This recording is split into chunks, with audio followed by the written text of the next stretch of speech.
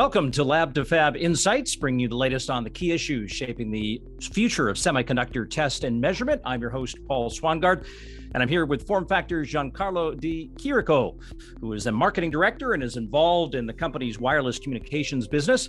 He's going to share his insights on the key trends, challenges, and solutions for testing in 5G and 6G semiconductors. Welcome to the show, Giancarlo. Thank you, Paul. I'm really glad to be here. Well, let's get started. There's no doubt that the emergence of 5G created a world of possibilities and test headaches when it emerged. Technologies like autonomous driving, virtual reality, and IoT exploded with possibility, along with the telecoms aspect.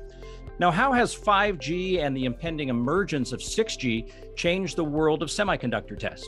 So, 5G's true value is its extreme reliability and ultra low latency. So, the delay uh, between sending and receiving information, which could be as little as one millisecond.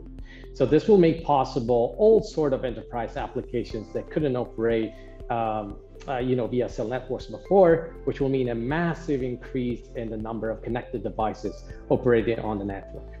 So the 5G speed uh, is great. We data rate up to 20 gigabit per second, higher traffic capacity with uh, 100 times uh, increase compared to 4G and many more devices connected to the network, as I said. So higher density, that means higher density.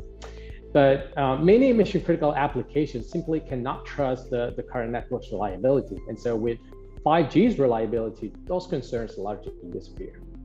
So you see 5G uh, creates a, a faster ecosystem and an ecosystem with many more devices and applications, ranging from telecommunications, healthcare, automotive with automotive radar and vehicle to everything communications, aerospace and defense applications like new space, electronic warfare, and industrial smart cities.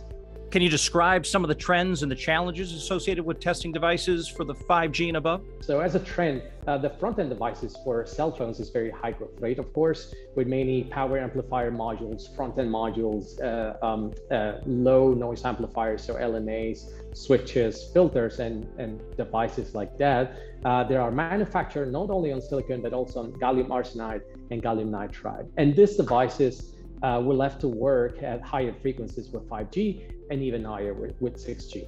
So with uh, many more semiconductors and ICs to test, uh, the importance of device modeling is increasing and is becoming fundamental uh, to build accurate uh, process design kits for the IC engineer, designers and engineers. So one of the most important challenges is to achieve faster time to market for them uh, while having accurate, more accurate, stable, and repeatable data of these devices. Now, can you describe what you'll encounter with the higher frequencies in mobile communications, radar, and next gen Wi Fi standards? Yeah, so looking far, uh, looking far down the road, basically 6G is expected to merge communications and sensing in a new way. And the wide bandwidth uh, needed for data will also benefit many high precision sensing applications. So as the as the next decade uh, unfolds, even richer multimedia applications in the form of high fidelity holograms and immersive reality, uh, tactile and haptic based communications, as well as the support of mission critical applications for connecting all things are being discussed right now uh, for consideration. And what problems do you anticipate encountering with 5G semiconductor testing? Our customers want more data uh, to help create better models and the corresponding demand for more throughput. Uh, therefore, reliability, you know, puts a high demand on testing. Uh, the IC designer can simply afford multiple design iterations because uh, this could be caused by inaccurate device modeling and simulation. And so what they need to do is uh, is to have a, like a faster and more accurate on wafer device characterization to build up a more accurate process design kit. And this requires test equipment uh, with broadband frequency capabilities. We anticipate difficulty in making high frequency calibrations and measurements, especially when tested devices over temperature, because uh, uh, the vector network analyzers, frequency extenders, the probes, the waveguides, all the components are going to expand and contract over temperature with temperature. And so this uh, is going to affect the calibration and will lead to more time consuming time consuming calibration processes, delaying the time to market for the ICs. You've described a situation where test methods haven't necessarily been developed. After all, the complexity, the speeds, the demand for high reliability devices have never been greater. So, where do you begin to start developing a test strategy? Well, first of all, you need to uh, create an integrated solution that includes hardware, probes, and also software. So there's no single vendor that, that can do this job. And so the first thing you need is to bring in world-class solution partners. And FormFactors brought in like partners like Keysight, Virginia Diodes, and Dominion Microprobes.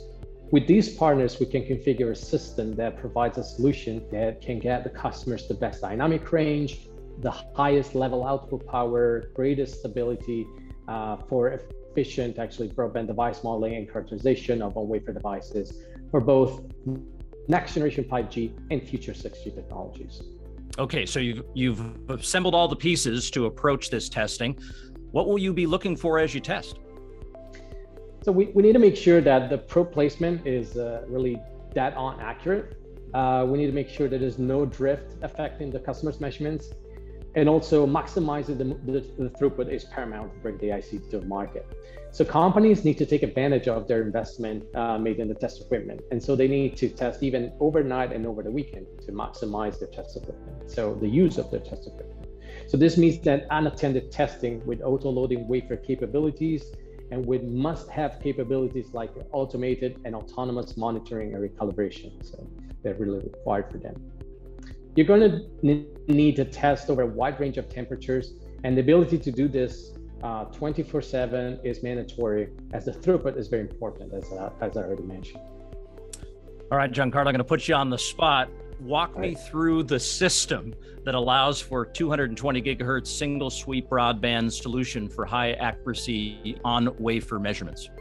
I like to be on the spot. So, uh, the, the, system like a, a, broadband that uh, with broadband capabilities up to 170 220 gigahertz includes multiple pieces. So, a single sweep solution based on a key Keysight vector network analyzer. Is the N5291A, which is a millimeter wave system all the way up to 130 gigahertz from very low frequency, 900 hertz. And then the Virginia diodes, sub-terahertz frequency extenders. Uh, for this purpose, they have developed like extended range uh, WR5.1 extenders. So from 130 to cover from 130 all the way to uh, 220 gigahertz. And then Dominion microprobes, uh, broadband probes, they combine the coaxial and the waveguide signals uh, all the way to the probe tips with an internal diplexer. And then last but not least, of course, all the FormFactor probe stations that come in many different flavors, 200 millimeter, 300 millimeter probe station, semi-automated, fully automated. And along with that, of course, you need to uh, you need to have like measurement over temperature capabilities with thermal systems that we do provide, contact intelligence technologies, which is a patented, a patented technology to enable uh, calibration monitoring and recalibration, unattended use, and reduce soak times. Autonomous RF capabilities, we talked about that.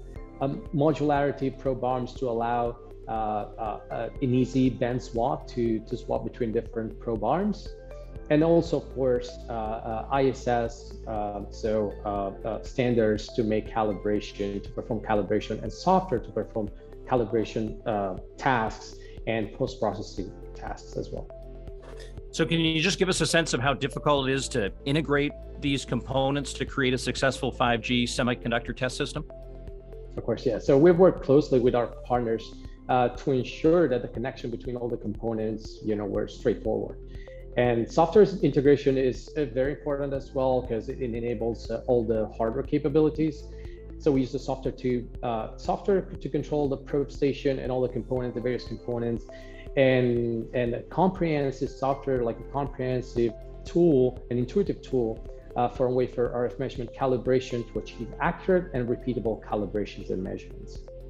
Giancarlo, thank you. I, I think we now understand the promise and complexity of what a 5G and beyond world presents to those tasked with testing the wafers that will provide those sophisticated devices. It's been my pleasure, Paul. Thank you for having me.